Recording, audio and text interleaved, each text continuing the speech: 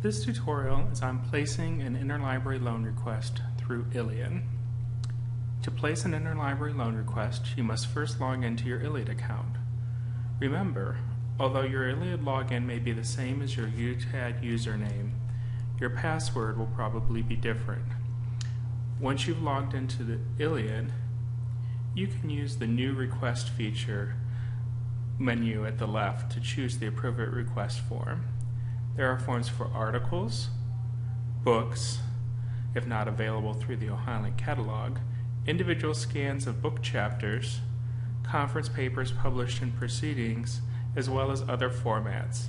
If your document type isn't listed, use the Other format and give as much information as you know. For any of the forms, enter as much information as you know.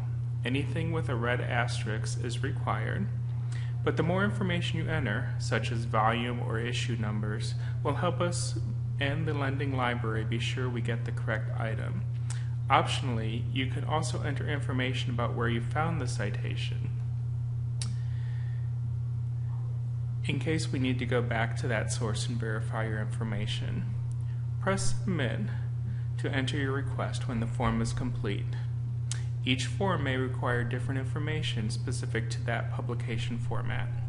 You may also enter information in this form using the Find It button, found next to each result or abstract in many of the university's databases or subscriptions. For example, here in an EBSCO database, we can click on Find It and then use the Get Copy via Interlibrary Loan link. Since we're already logged into our ILLiad account, it has filled out the form for us and we must only submit the request.